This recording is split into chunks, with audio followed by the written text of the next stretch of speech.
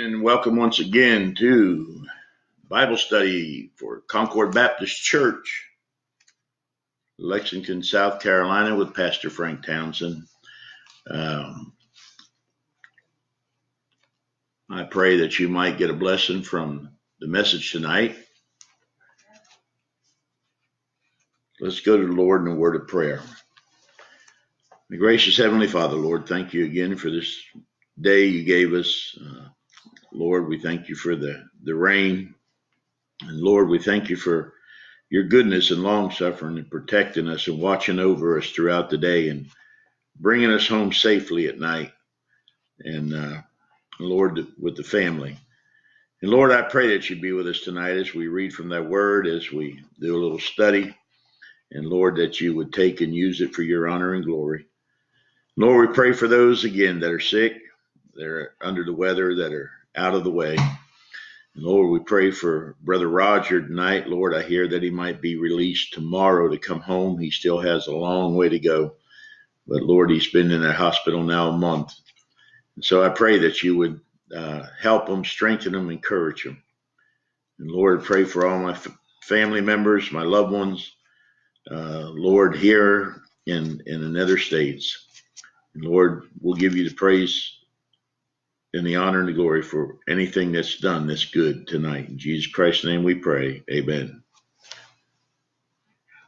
All right, girls, come sing a song, and then we'll play one by Miss Pam Lindsay. And uh, we'll go from there. Years I spent in vanity and pride, caring not my Lord was crucified, knowing not it was for me he died. on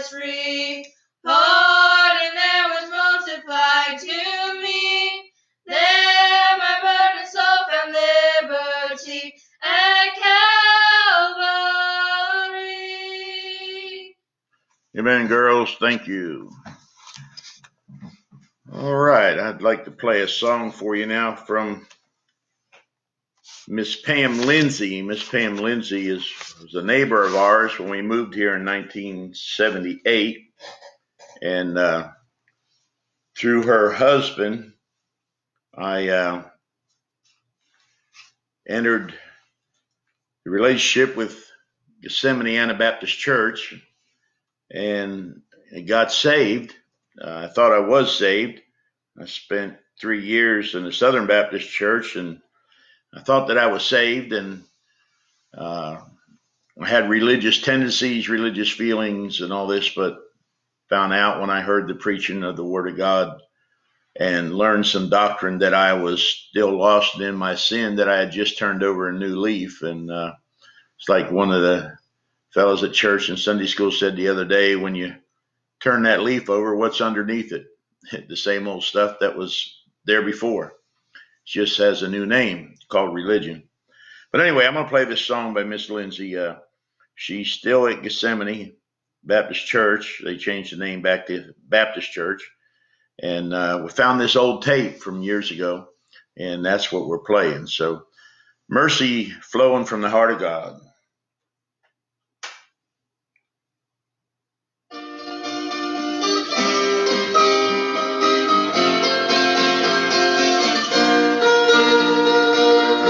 The boundaries of the ocean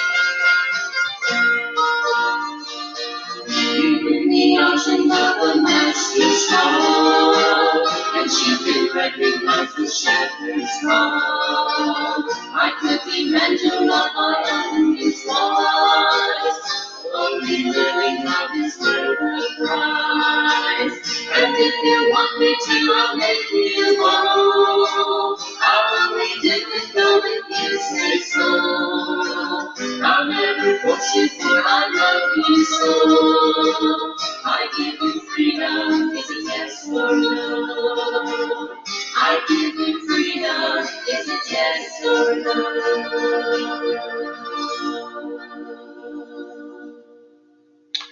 Amen. Also singing with her was her husband, Brother Blake Lindsay. The ironic thing is, when we moved here in 78, they lived, uh, well, the third house up, and her mother lived right across the street. And since then, they passed away and they had moved away.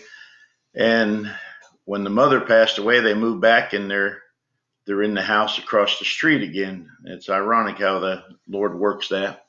Uh, all he wanted was a set of jumper cables and to borrow a set of jumper cables, and through that, the Lord uh, eventually let me hear the preaching of the Word of God according to the Scripture, and I got saved. All right, I was smiling here. I saw my sister Kathy. She's a uh, said hello, everyone. Smiles, and uh, and my sister Ruth wanted to know how it's going down here. Well, how's it going up there? You still got any of that snow up there you had uh, earlier in the week? Well, you're lucky.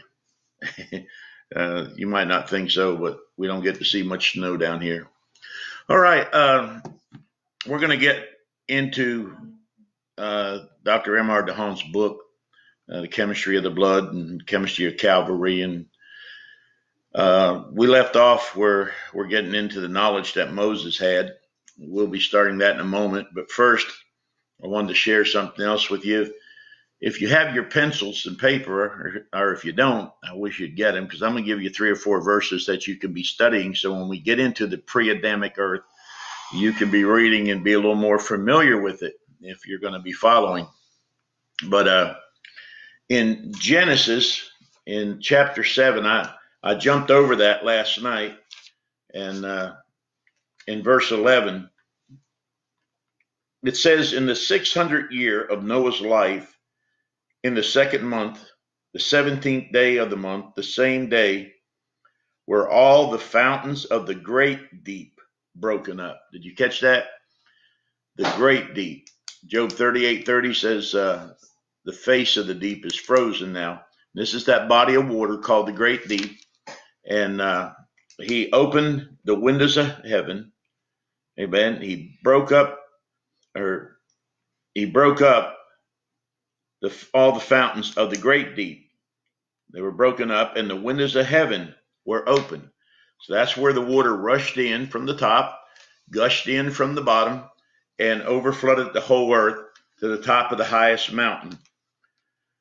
And then you read in chapter 8 where they were abated and they withdrew. So that's uh, one verse that I wanted to share with you. Another one is over in Second Peter. Second Peter chapter 3. Second Peter chapter 3, beginning in verse 5. Peter said this, For this they willingly are ignorant of, that by the word of God the heavens were of old, and the earth standing out of the water and in the water, whereby the world that then was, being overflowed with water, perished.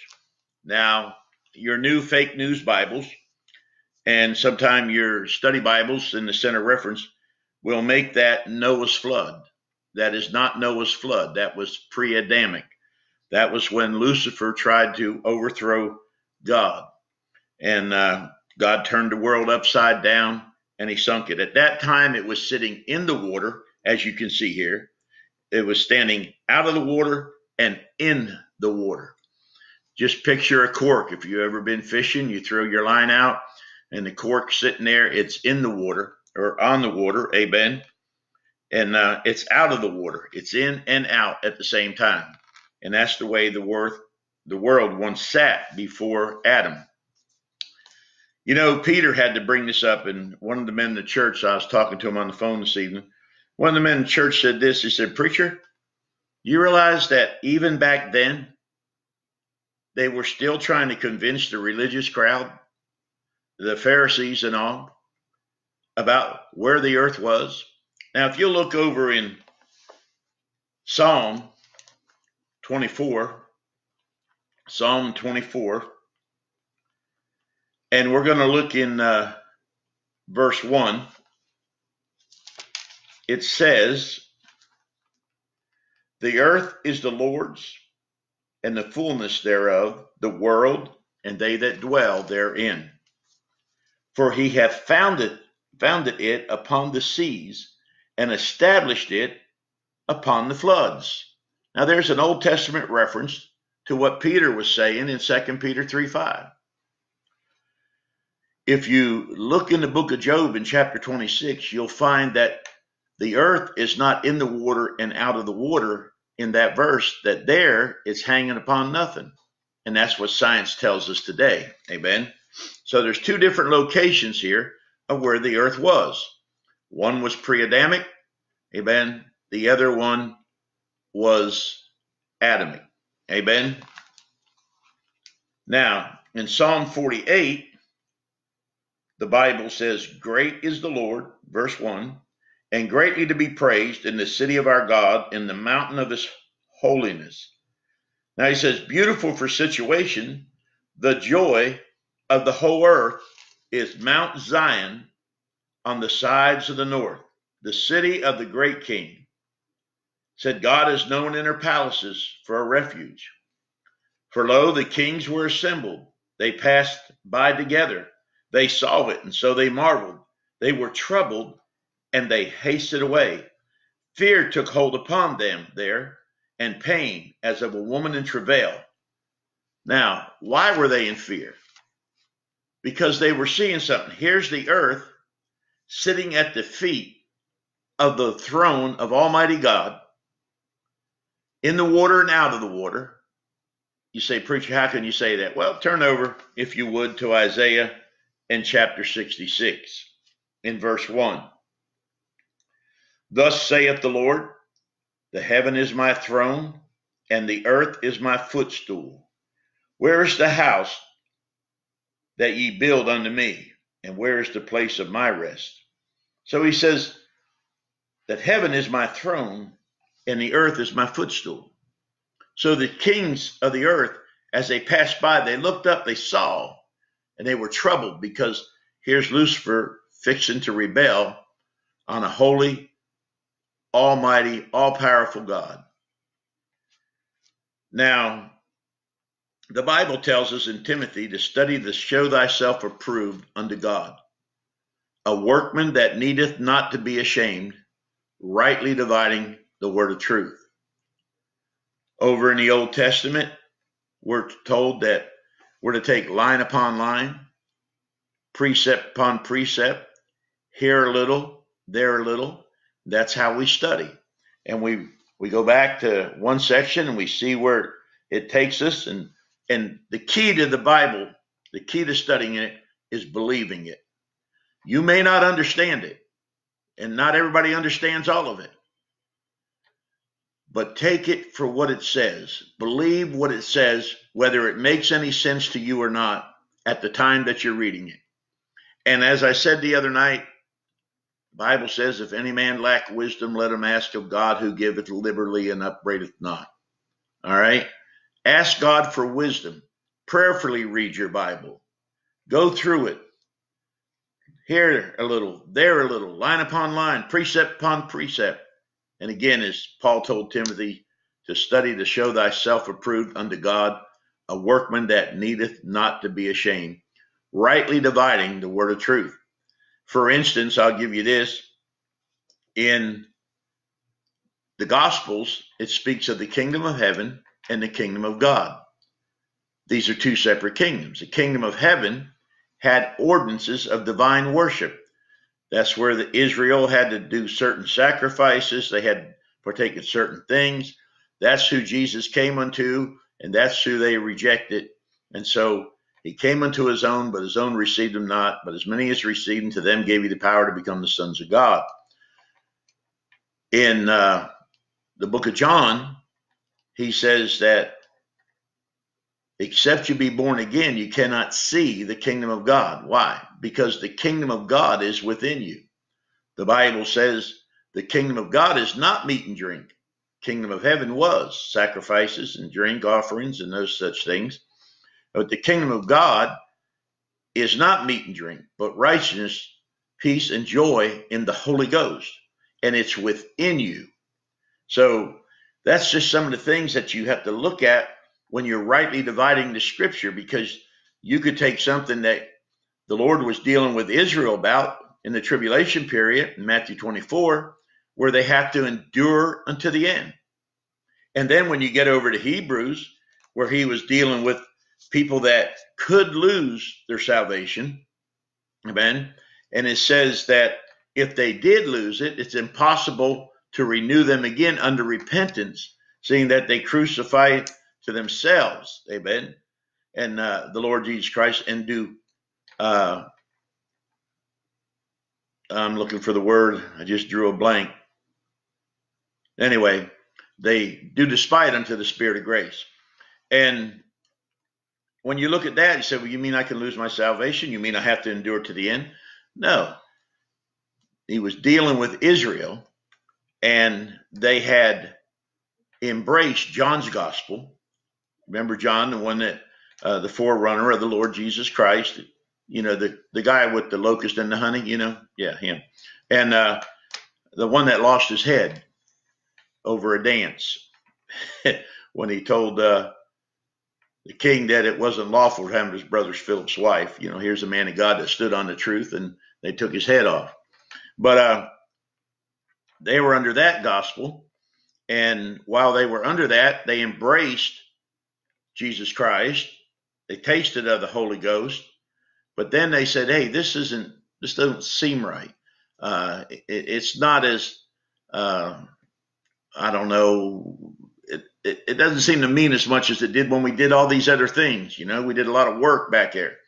And uh, so if they took and slaughtered a lamb after that, and offered it up at the temple and the altar, then they were doing despite unto the Spirit of grace. They were trodden underfoot the blood of the covenant of the Son of God, and they went back to an animal sacrifice, and they lost it and couldn't get it back. And that's what the book of Hebrews was dealing with over there. And an example of that is in the book of Acts when Paul was uh, taking a vow and he had shaved his head. And on the seventh day, they were about to offer up the sacrifice, and God caused a riot, and Paul had to be let down. Uh, and he got away from there and never got to offer that sacrifice. And right after that is when the Lord sent Titus through to destroy the temple. And he destroyed it. So now, therefore, a Messianic Jew, when he trusts, trusts the Lord Jesus Christ, he's just like any other Gentile. He's sealed unto the day of redemption by that Holy Spirit of promise. Now, I know a lot of this is over a lot of your heads, but maybe down the road we'll get into it and take it verse by verse. But anyway, when when that temple was destroyed, they had no place to offer that sacrifice. Now, I met a, a Jewish pilot. I used to keep my plane in Winnsboro, South Carolina, and uh, I flew in there one evening, and and uh, this Jewish fellow was there, and he was a pilot, and we got to talking, and he said, You Christians hate us. I said, No, the Christians don't hate you. Somebody truly born again loves the Jew because God loves the Jew. And uh, I got to witness to him. And I asked him, I said, Where do you offer your blood? And what do you use for blood? He says, We use chicken blood symbolically. All right. But they have no temple to offer it in. So they're still in their sin if that's what they're trusting. And that's why they need to trust in the Lord Jesus Christ also. I'm taking up all my time on that tonight. Uh, didn't mean to, but uh, I, that's just some things that in the Word of God, and you'd have to study and pick it out. And and uh, man, it's just so amazing. Some things are stranger than fiction, and they're real. This isn't a game. This is real stuff. And you know, I'm thinking about this coronavirus and all this stuff where they're trying to, you know, now they want to put up drones where they can take your temperature over the cities, and they they want to set up. Uh, these programs and apps where they can track you and everything. Uh, if you've read the Bible any, you know that what we're setting up for is a one world government, the Antichrist. And that means that the church is getting ready to check out because the church has to go out before the Antichrist can take over. And that's pretty close. So if you're not saved, you might want to get in the Word of God and pray and ask God to help you. And if you've got lost loved ones that aren't saved, you better quit worrying about hurting their feelings and talk to them about the Lord and try to bring them to Christ before it's too late. Uh, gee, I've got this far. Now I'm not sure. I'm not sure where I want to go here with this. Uh, the next part that we were going to get into on the blood and the uh,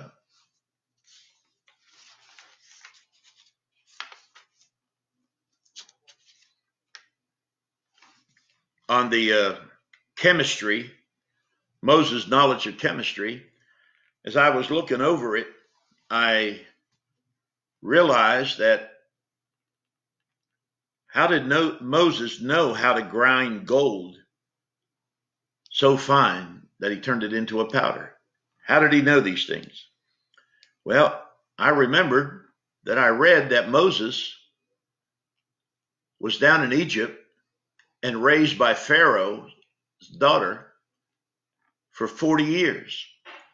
And everybody knows that the Egyptians knew some things about chemistry and science that the rest of the world hadn't had at that time, like embalming and different things. My mummy told me so, and just joking. And uh, so he had some wisdom from the world, but also I believe that God helped him. I'm just going to read you three things here because we're almost out of our time again. And we'll pick back up on this again tomorrow night. Says Moses' knowledge of chemistry. And, and by the way, not everything in this book is 100% scripturally correct. You know, last night we said, we read that uh, Mr. DeHaan said that the Ark of the Covenant was an oblong box. Well, actually, it was a uh, rectangular box, and it had a lot to do with God sitting there and judging Israel uh, in their sin and the sacrifice that offered upon it. But I'm not worried about that right now. I'm just trying to read through this stuff so that we can get, I guess you'd say, the meat of it. So here it is. It says, It is very evident from this record that Moses had a supernaturally given knowledge of the science of chemistry. You may have wondered why Moses took the calf and submitted it to the melting, pounding, grinding, and suspension. The result was a suspension which became a vivid type of the blood of the Lord Jesus Christ. In chemistry, we speak of three kinds of mixtures. They are as follows Number one, a mechanical mixture. If I drop a piece of metallic gold in water, no solution occurs. The gold is intact and remains in the water. Pure gold is, in, is insoluble in water. Number two, a suspension of emulsion. Finely divided particles of a metallic substance may, by the addition of another chemical, be suspended in water. There is no solution. The finely ground particles are merely suspended in the water there is no solution. We call this emulsion. And then number three, a chemical solution. If I take a teaspoon of sugar, put it into a glass of water, the sugar will not mix or be suspended, but will, e- will enter into a solution so that the results will be an increase in weight, but not an increase in volume. The sugar dissolves and the atoms take up their place in the interatomic spaces in the water. This is solution. Gold is insoluble in water, being 19 times heavier with specific gravity of 19.5. In fine powder, it assumes the colloidal condition and added to water results in the coloration that appears to be solution. As the particles are made finer, the bulk is greatly increased and acquires an apparent specific gravity permitting its suspension in water, giving the liquid a deep red color. Scientific records state that colloidal gold in water is a rose red color when the particles are of 10 micron size in, in a dilution of 1 to 100,000. 10 micro, microns equal 0.0003937 or 0 four thousandths inches. From this, you will see that gold in dust size will color water as blood, which means that this calf of gold need not to have been very large to color sufficient water blood red to furnish drinks to at least two or more million people. Colloidal gold can be made in many ways, but the method of Moses is the best under the circumstances in the wilderness. The burning removed the impurities. The stamping or beating reduced it to thin sheets because of the ductibility of gold. Gold leaf can be made so thin that it requires about 280,000 of them to make one inch. Sheets as thin as 0.00004 millionth of an inch have been made. Then the grinding becomes easy and further information proves that Moses ground it very fine, as fine as dust, reducing it to the size of colloidal gold.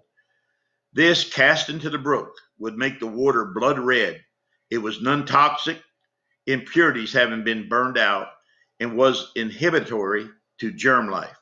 The resultant waters would be blood red and possesses purifying qualities.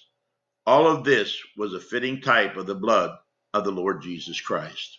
I thought that was very interesting, and uh, we'll pick up on the rest of that tomorrow evening, Lord willing.